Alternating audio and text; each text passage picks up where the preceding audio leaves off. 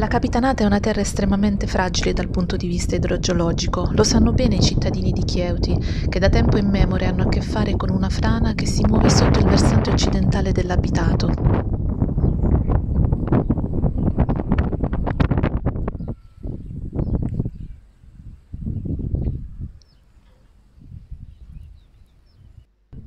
Diversi sono stati gli interventi nel corso degli anni, ma non risolutivi. La Terra però negli ultimi tempi ha accelerato la corsa verso il vallone in modo preoccupante, creando un dislivello che ha raggiunto i 15 cm nel giro di 24 mesi.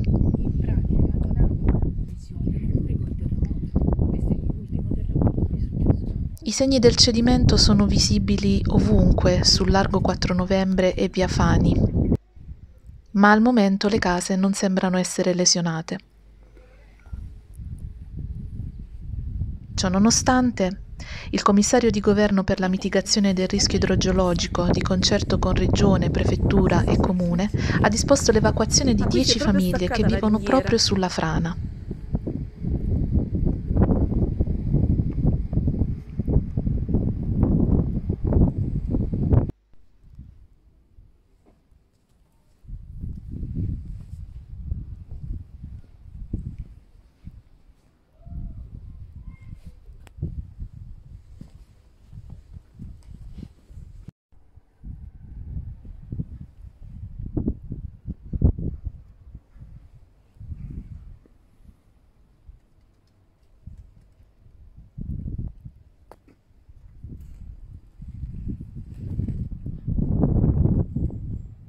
Chieti l'annoso problema della frana si è riproposto con una connotazione di urgenza perché alcune famiglie saranno costrette a lasciare la propria abitazione. Sindaco Diego Iacoro, che cosa sta succedendo? Eh, sta succedendo che la frana purtroppo ai noi ha avuto un, un'accelerazione brusca e quindi ha aggravato la situazione che già era eh, preoccupante eh, degli anni passati e oggi ci troviamo e siamo costretti purtroppo ad evacuare eh, la zona per eh, mettere in sicurezza le persone che vi abitano dentro. E che sistemazione avete trovato per questi cittadini?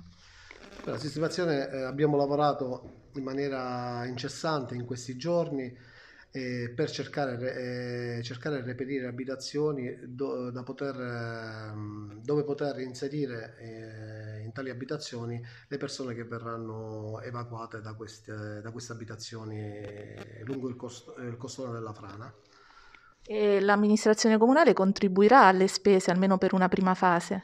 Assolutamente sì, come come prima, prima, fase credo che sarà a carico nostro diciamo, la, prima, la, prima, parte di questa, di questa evacuazione con, relativi, con, le relative sistemazioni per queste persone.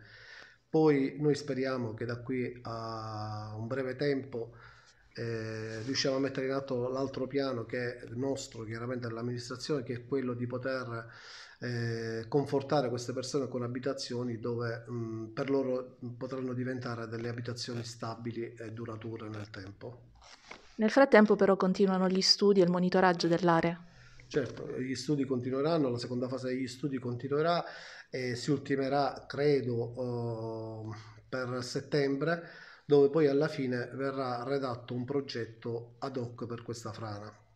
Queste sono le notizie che eh, chiaramente ci dà l'asset regionale che in questo momento c'è la frana eh, in gestione.